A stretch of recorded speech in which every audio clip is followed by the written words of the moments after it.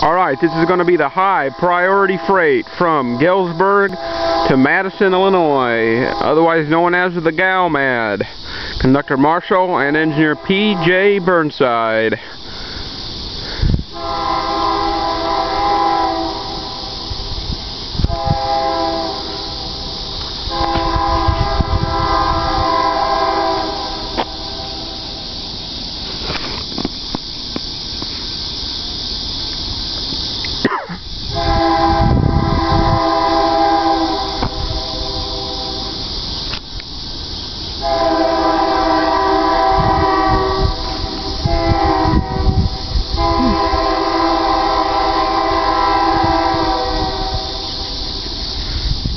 And there's a coal load right behind this.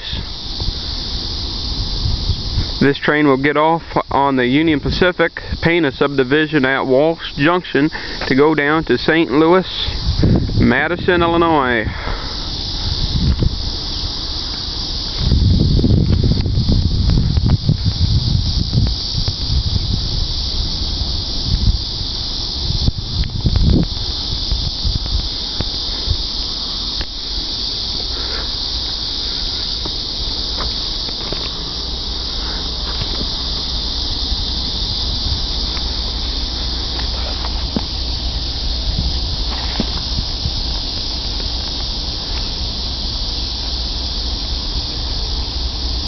Boy, he's going slow.